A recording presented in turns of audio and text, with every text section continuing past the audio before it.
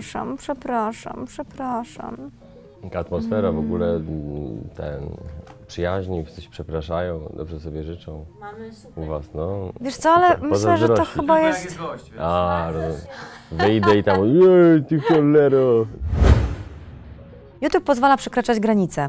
No bo często jest tak, że no po pierwsze nie ma takiej kontroli i tak dalej, nie ma szefa, jak ktoś ma swój kanał, sam sobie jest szefem. Czy tak właśnie jest? Czy jednak e, też można się liczyć z tym, że można jakieś konsekwencje z tej wolności słowa mieć? W tym momencie YouTube e, bardzo się zbliżył do telewizji, jeżeli chodzi o na przykład użycie wizerunku, to osoby, które sobie tego nie życzą, mogą w bardzo łatwy sposób e, wyegzekwować od YouTube'a to, żeby ich wizerunki zostały czy tam zamazane, czy jakoś w ogóle usunięte z materiału. No wiadomo, polskie prawo prasowe nie do... No, nie chcę tutaj może za głośno o tym mówić, bo wiadomo, że że każdym różne są interpretacje i może zbuduje sobie konkurenta w ten sposób, że to powiem. Bo niektórzy wychodzą z założenia, że jeżeli rozmawiamy z kimś, on widzi kamerę, domniemujemy, że to, tę kamerę widzi i że udziela wypowiedzi świadomie i nie mówi potem, że nie chce być pokazany, no to może być pokazany, ale w większości telewizji jednak żądają e, zgody wizerunkowej, takiej w ogóle zmienia nazwiska z dowodu i tak dalej, więc... Na YouTube'a, jeżeli wrzucamy jakieś filmiki, to często możemy też potem nie mieć kontroli nad tym i może tak naprawdę to kreować nasz wizerunek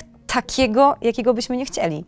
Więc też, też uważać, jeżeli się tworzy swój własny kanał, żeby no, mieć tą wizję i mieć świadomość ewentualnych zagrożeń, jak ktoś takie, nie wiem, nasze, nie wiem, zabawy y, właśnie takie postprodukcyjne może odebrać. Ja mam taką taktykę, że po prostu, no bo nie mam jakiegoś warsztatu wielkiego, bardziej z doświadczenia ewentualnie, że nie wiem co powiedzieć, to mówię szczerze. Znaczy w zasadzie, że nie kreuję swojego wizerunku. Nie, to nie jest tak, że ja teraz mówię inaczej niż rozmawialiśmy, zanim się włączyły kamery, czy jak się wyłączą, czy po prostu jestem sobą. No i wydaje mi się, że jest trochę, no, że jest zapotrzebowanie chyba na takich dziennikarzy, bo każdy coś gra, a ludzie lubią naturalność to doceniają. Poza tym to jest fajna tarcza taka, bo jak mm, na przykład, nie wiem, ostatnio prowadziłem festiwal rockowy w Węgorzewie jeden pierwszy raz prowadziłem koncert. Miałem momenty, że tak nie bardzo wiedziałem, co powiedzieć, się pomyliłem, coś zaplątałem, czegoś tak. Jak się do tego przyznasz od razu, powiesz, że o, tutaj mi się coś potem popitoliło, sprawia, że ludzie mówią, okej, no dobrze, okej, zdarzyło się. A jeżeli by to tak zakrywać, to mm, działa odwrotnie, tak? Właśnie YouTube kupuje taką au- e, autentyczność. Dzięki temu e, jesteśmy w stanie znaleźć e, no, fanów na YouTubie. jak YouTube powstawał, to w ogóle nikt nie miał pojęcia, że to będzie dłużej. To było traktowane na takiej zasadzie, bo chłopaki ze Skurczów, Skurcz Film, może kojarzycie, te, te filmiki najpierw puszczali po imprezach, prywatkach, potem te filmiki były na stronie, łączyło, odłączało się telefon matki czy tam ojca, podłączało się ten komputer, router, on tam wydawał sobie śmieszne odgłosy, Tak. było powtarzał "Ing, ring, ring". Trauma zostaje na całe życie, zły dźwięk boli całe życie. Ściągało się bardzo powoli, siermiężnie te filmiki na dysk i wtedy można było je obejrzeć. Jak się pojawił YouTube, to było na zasadzie, nie trzeba, nikt nie będzie musiał ściągać tych filmików, tylko wysyłasz kumplom link i sobie obejrzą. To nie była jakaś kalkulacja, jakiś plan długoterminowy. Do tego też chyba pyta tyle lat przetrwała, że nie miała w planach zarobków i wręcz generowała koszty. I, i tak była robiona, bo nikomu nie o to chodziło, żeby chodziło o Najpierw o zajawkę, potem też o zajawkę plus możliwość powiedzenia tego, co się chce. Jednak jeżeli pracujesz w jakimś medium, to ten czy inny sposób jest się mm, jakoś ograniczany. Czasami trze- trzeba się wyładować. No, pyta polega na tym, że się idzie, że polega w czasie teraźniejszym, bo w sumie to jest też śmieszne, że mi czasami ludzie mówią, że coś jest pytowe, a coś nie jest. Praktycznie od dwóch lat nagrywam z moim kolegą, przyjacielem e, Marcinem Drabkiem. Niektóre z tych materiałów są ogólnie komentowane przez ludzi, no to jest stara, dobra pyta, a niektóre z e, tych trochę wcześniejszych, na przykład z chłopakami, że to, to nie to i tak dalej. I tak samo teraz spotykam się z takimi głosami, że no to już nie będzie to samo. Dla mnie się tak naprawdę technicznie nic nie zmienia pokazujemy jakieś zgromadzenie publiczne, które jest wywołane zazwyczaj ideologią. No i rozmowa y, z ludźmi trochę taka, że zadawanie ich pytań, które się nie spodobają, znaczy nie, których się nie spodziewają, nie, No nie czasem podobają też się nie też, spodobają. Tak, szybkie odbijanie też piłeczki i takie trochę próba odwrócenia kota ogonem, nie po to, żeby kogoś obrazić, tylko po to, żeby pokazać, że mm, wchodzenie w taki maksymalny radykalizm zawsze jest prowadzi do absurdu, że jeżeli ktoś uważa, że wszystko co mówi kot to jest ok, a co mówią przeciwnicy to jest najgorsza zdrada i w ogóle, albo odwrotnie. Tyle razy już politycy PiSu mówili, że mm, rzeczy już nie wyobrażają sobie, że można zrobić coś gorszego na przykład. Że to tak się zdewaluowało, że ja sobie wyobrażam bardzo wiele rzeczy, które można zrobić gorszych. No. Ale powiedz mi, w związku z tym, że jesteście na YouTubie, daje to Mhm. wam właśnie większą taką wolność słowa? Puściliby takie wasze rozmowy w jakiejkolwiek innej telewizji, takiej Nie, no tradycyjnej? tak, no przecież jak Michał Figurski był dyrektorem Rebel TV, no to mm, tam z nim pracowaliśmy i to Michał nie cenzurował w ogóle. Przez pewien czas, y, na, na samym początku, moja pierwsza telewizja, z którą współ- współpracowałem, to było Tele 5, tam było coś jak Witam, Pytam. I to była taka pyta właśnie trochę cenzurowana i to było słabsze Mhm. znacznie wtedy w tym momencie przez to. No dla TVP2 przez chwilę robiliśmy, ale tam tak samo jakby... No raczej tam była cenzura ale to taka. było dawno temu, to, nie było taki, tak, takiej sytuacji jak teraz, chociaż teraz, no, no nie Może wiem. teraz po zmianach byście mówią. trafili do publicznej telewizji, nie? Dlaczego? No nie wiem, no jakoś tak wiesz. No jest teraz dobra zmiana, to może by właśnie coś się zmieniło, nie? Póki co, no to... Póki co YouTube. Znaczy nie, no wiesz, no, YouTube właśnie w tym momencie nie mam za bardzo czasu na YouTube. Myślę, najlepiej byłoby pójść na jakieś fajne, fajne zamieszki, nie? Jakieś zgromadzenie, na coś takiego gorącego, nagrać fajny, błyskotliwy materiał i go wrzucić. Ale nie mogę sobie na to pozwolić, bo chociażby to, że przyjechałem tutaj, to już ten, już powoduje, że wydawca mój na mnie dzwoni i, no, i na mnie krzyczy. No, pozdrawiam, gdzie jesteś. Pewnie gdzieś tu się czai, bo książkę piszę i e, oprócz tego będzie sezon zaraz nowy. I pytanie, skąd wyskoczę? I też sam nie wiem, ale chyba wszystko wskazuje na to, że tam, gdzie chciałem, ale jeszcze nie mogę powiedzieć. Ale w takich tradycyjnych, tradycyjnych mediach tak, tak, tak, tak. jakie mogą być minusy wrzucania materiałów na YouTube'a? W ogóle minusy taki- YouTube'a. No minusy YouTube'a to chyba to, że każdy może powiedzieć cokolwiek i dojść do głosu. I tak, ja przez pewien czas w ogóle A to jest myślałem- minus? Że Tak, możesz od razu mieć tak, komentarz tak, kogoś i tak, ktoś od tak, razu tak, powie, co myśli? Tak, dlatego że ja przez pewien czas wychodziłem z założenia, że to jest totalna wolność słowa, daj mi się wszystkich wypowiedzieć, a potem sobie pomyślałem, tak przeniosłem sobie to na takie życie rzeczywiste i tak. Od iluś tam lat opowiadam jakieś anegdoty ludziom. Ludzie przychodzą, zdradzą sobie jakiś kamień taki duży, włażę na ten kamień i zaczynam opowiadać historię. Ludzie się schodzą, bo jeden słyszał, jeden, o to to jest ten gość, co słyszałem kiedyś opowiadał historię i mi się podobała. No i się zbierają i słuchają. I w tym momencie, jeżeli jakiś gość y, potem wchodzi, drapuje się obok mnie, mówi, przepraszam bardzo, to ja teraz powiem, że ty jesteś taki, taki i w ogóle to, to ten, to to najpierw myślałem, że okej, wolność słowa, no może mnie krytykować. Ale z drugiej strony, jeżeli ja przez ileś lat buduję jakąś, y, jakieś tam zaufanie publiczne, to na jakąś tam i wiarygo- wiarygodność, i publiczność sobie zapracowałem.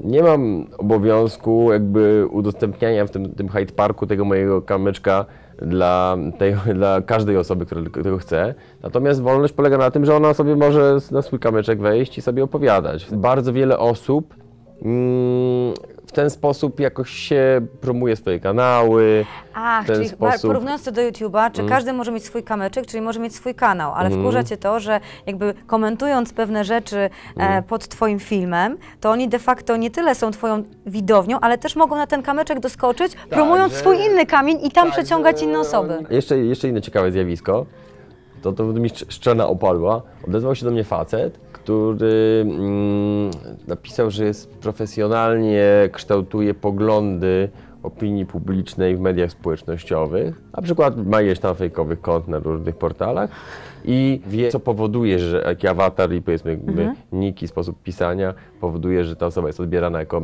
przynależna do danej grupy społecznej. Następnie niektóre są ze sobą sprzeczne, niektóre są częściowo zgodne, żeby to się wszystko zgadzało. I te y, je plusuje, minusuje i to może przechylać y, w ogóle czy, czy, no, szale na jedną czy drugą stronę. Ja podziękowałem grzecznie i potem następnego dnia wrzucałem jeden materiał. Widziałem bardzo podobne zjawisko i nawet sobie popatrzyłem na IP i coś w tym jest. Natomiast e, chodzi o to, że wiem o tym zjawisku doskonale, bo zrobiłem taki eksperyment kiedyś z chłopakami właśnie z pyta.pl. Polegało to na tym, że była piosenka w kościele, Idzie mój Pan. I jak byłem, miałem tam na naście lat, to jeszcze rodzice kazali iść do kościoła. I chodziło do tego kościoła i zaczynało się słuchać metalu, Iron Maiden. I ta piosenka była grana w takim tempie trochę kucykowym, jak to się mówi, czyli to było takie pam, to pam, to pam, to pam.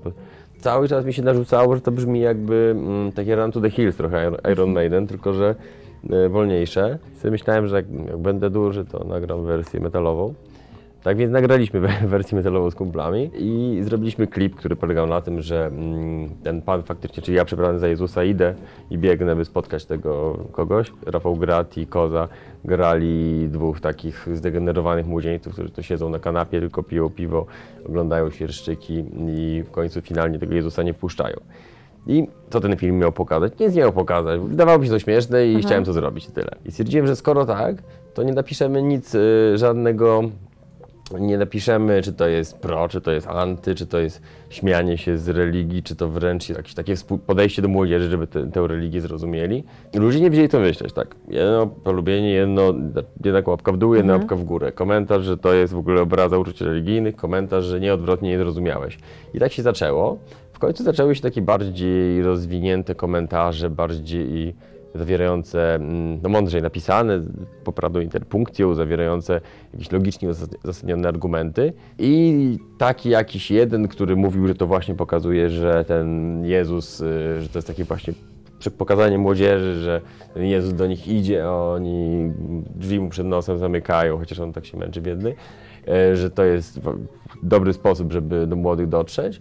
Przekroczył jakiś tam próg łapek, i poszło po prostu. I już wszyscy zaczęli twierdzić, że to jest tak właśnie i opinia powstała, że jednak bardzo mała część odbiorców ma własne zdanie. Panie Jaok, a jak to jest? Na takim kanale kontrowersyjnym to hmm. można zarobić? Na takim kanale można zarobić, ale to nie są pieniądze duże. Można zarobić najbardziej na kanałach gamerskich, na to kanałach, prawda. które mają e, dużo, bardzo dużo, dużo czasu e, tego wrzuconego. Jeżeli chodzi o, o pytę, to pyta mm, teraz e, w maju najwięcej chyba zarobiła, dlatego że przez to, że jako dwie ekipy działaliśmy, zrobiliśmy mm, z tych samych imprez po dwa materiały, powstało tego najwięcej. One, one były i, tej, i, i tam Kozy, i Grzesia, i ten mój, i młodego były dość mocno tam mm, propsowane, szeroko poszły. I w dodatku dużo, no, dużo agencji reklamowych inwestowało w YouTube'a, bo euro, bo na to i tak dalej. Mhm. I te stawki były trochę inne. Właśnie tutaj kolega taki bardzo brzydki zabieg zastosował. Nie chcę o tej sprawie za bardzo mówić, ale, ale właśnie wziął ten miesiąc, gdzie to jest ta, gdzie jest ta taka górka w przemnożeniu na rok, na Aha. ujęciu 12-miesięcznym. Ale łatwo znaleźć takich właśnie mm. klientów, bo powiedziałeś, że agencje mm, inwestowały w YouTube'a. Ale to Czy agencje rozmawiają wasz... z MCN-ami. No właśnie. I mm. ty jesteś w którymś z MCN-ów? Ja nie w tym momencie. Chyba nie, znaczy, zaraz nie będę, a czy jeszcze jestem, to nie jestem pewien, czy tam w umowie nie mam napisane, że nie mogę mówić. A jak to jest z tymi kontrowersyjnymi treściami? Jeżeli twoje, twoje materiały no nie są takimi materiałami ani hmm. tutorialowymi, ani to nie jest gaming, ani to nie są jakieś sztuczki, czy reportaż. tam jakaś magia, to, są, to jest reportaż, ale to nie jest hmm. taki reportaż, wiesz, bądźmy dobrzy, tylko to jest taki reportaż. Czy jest zapotrzebowanie wśród y, firm na to, by hmm. szukać współpracy z takimi twórcami jak ty, żeby pokazać pokazywać się w takich materiałach jakoś product placementowo albo robić wiem, materiały to, na zlecenie. To, to, to wiesz, to Masz takie propozycje? MCN, e, rozmawia. Ja mam i odrzucam wszystkie. Natomiast chłopaki tam będziemy robili jakąś grę komputerową, grę planszową, prezerwatywy, no też nie, znowu się robię złośliwy. Jeżeli chodzi o MCN, to one sobie coś tam negocjują, wiadomo, że ustawiają te reklamy zależnie od tego, jaki tam target ogląda to, jaki ogląda tamto.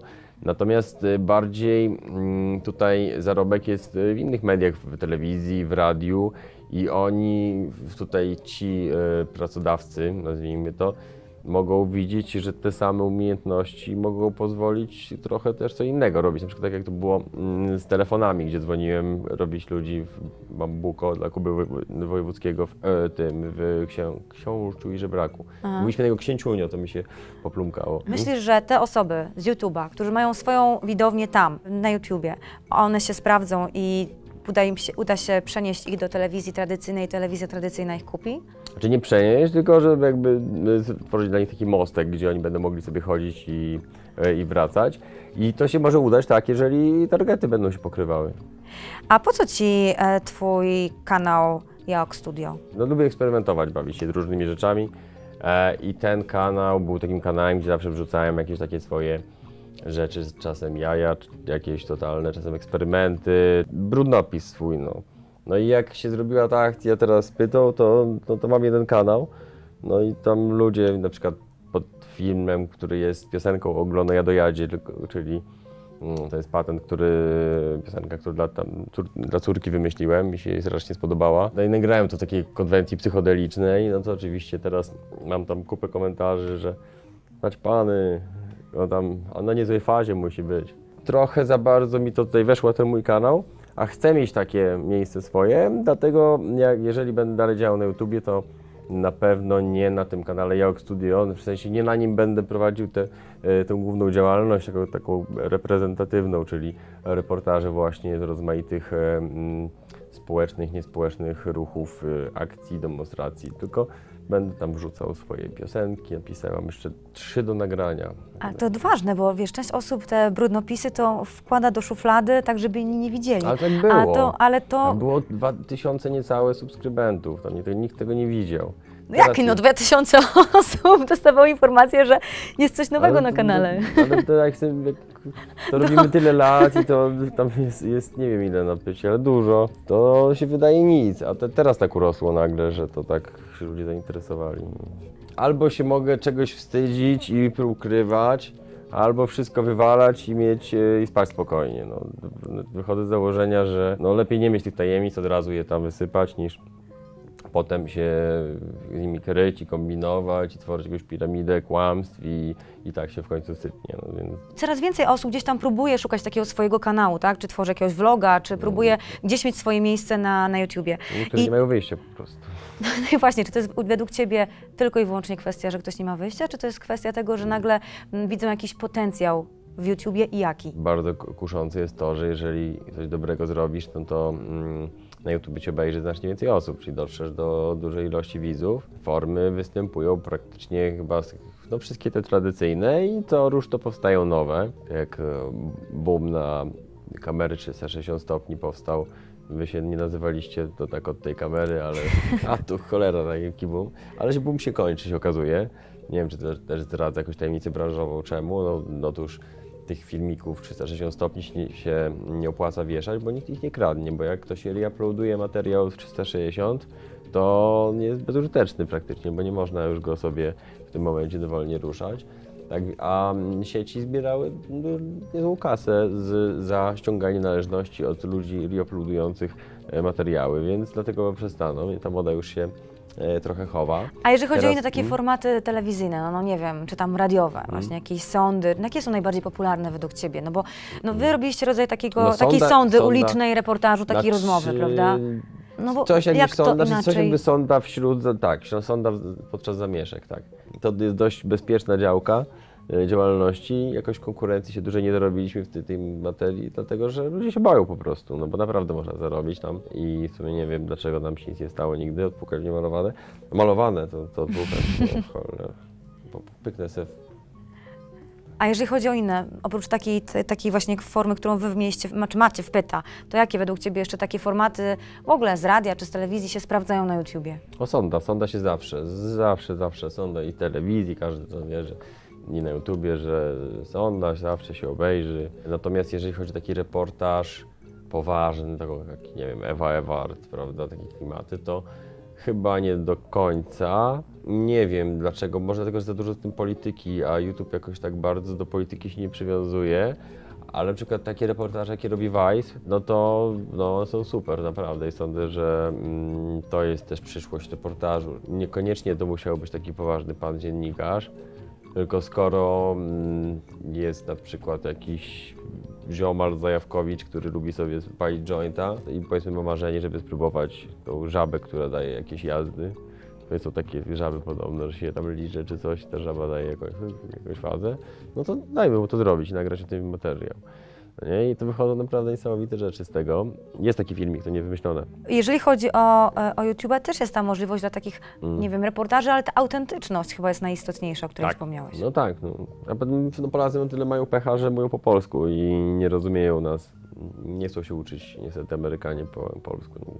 To jest lipa. To nas ogranicza, dlatego taki Wartenga, to wiadomo, że obejrzał go na całym świecie, no bo nie mówi zbyt wiele w swoich filmikach, ale jak już ktoś coś powie, no to jest, no, no widać było jak zrobiliśmy mm, sztuczną rumuńską pytę, no oczywiście była, była prowokacja już w samym tytule, bo e, wiadomo, że ci żebracy są cyganie rom- romscy, a nie Rumuni, ale to była, była świetna zagrywka, bo to pokazało taką hipokryzję w rasizmie niektórych Polaków, to znaczy komentarze typu to nie jest Rumun, to jest Rom, nie odróżniacie Rumuna od Roma, wy, wy rasiści. Rumun to jest porządny Słowianin, biały, a Rom to jest taki no nie? Czyli wytykali nam, jesteśmy rasistami, myląc ra- rasy w ogóle, e, jednocześnie pokazując, że mylimy tą lepszą z tą gorszą, czyli totalnie jakieś już e, klimaty, że pięć piw poproszę. Jeżeli chodzi o kanał na YouTubie, jeżeli Aha. chcę tworzyć swój własny kanał na YouTubie, to lepiej e, postawić na tą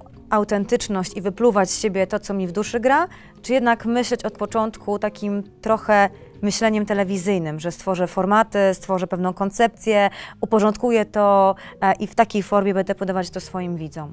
Tylko jeżeli masz doświadczenie, umiejętności takie branżowe, wiesz jak to wszystko działa, to wtedy tak, ale to ci ludzie, którzy zaczynają, nie mają czegoś takiego, więc ja polecam bycie sobą, autentyczność przede wszystkim. Jak, tak jak zrobiłem, powiedziałem, polecam bycie sobą i spojrzałem w kamerę, tak wiesz, A, jedziesz.